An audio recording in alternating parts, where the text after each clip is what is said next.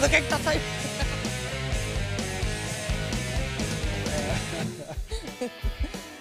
Vamos lá, então. Sentimos falta do nosso narrador hoje, hein? E agora, no mercado? Ó. Ai, meu Deus.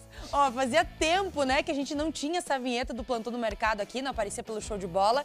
E se tem vinheta, é porque tem negociação acontecendo, É né? verdade. A gente vai acionar o Robson de Lázari. Ô, Dela, o negócio é o seguinte: quer dizer que na calada da noite, mas um gringo chegando de Venezuela pode estar pintando no rubro-negro? Fala pra nós aí.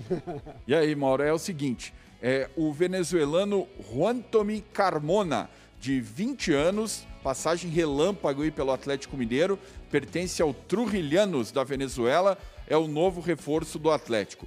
O jogador chegou aí nos últimos dias a Curitiba depois de acertar para defender no futebol brasileiro o Atlético Mineiro. Mas é, em cima da hora houve um desacordo financeiro. O Trujillanos da Venezuela fez novas exigências ao clube mineiro e aí ele acabou saindo do Galo e já está no CT do Caju.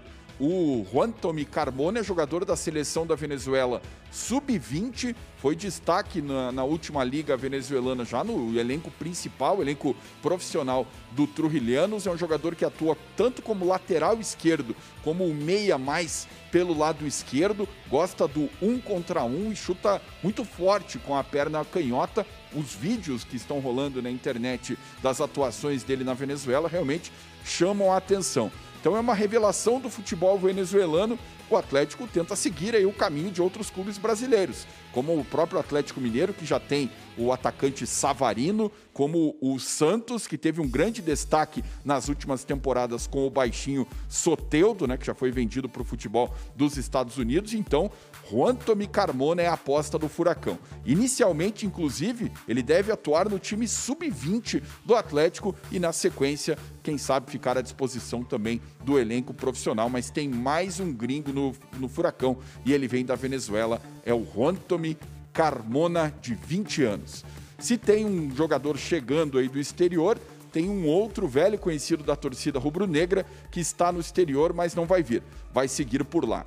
Foi oficialmente anunciada a renovação de contrato do volante Fernandinho com o Manchester City da Inglaterra. O jogador já está há praticamente uma década no clube inglês, campeoníssimo, inclusive é o maior brasileiro da história da Premier League, a principal liga do mundo, que é o campeonato inglês, um dos líderes do elenco do técnico Guardiola e ele vai seguir mais uma temporada por lá, contrato renovado, Fernandinho de 36 anos, pelo menos agora não vem, não retorna para o Furacão, ele que foi revelado no CT do Caju.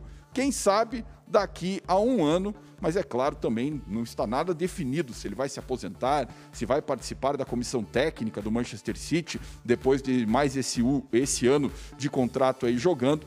O que está confirmado no momento é que ele renovou o contrato com o Manchester City e, pelo menos agora, em 2021, não volta para defender o Furacão aqui no Brasil.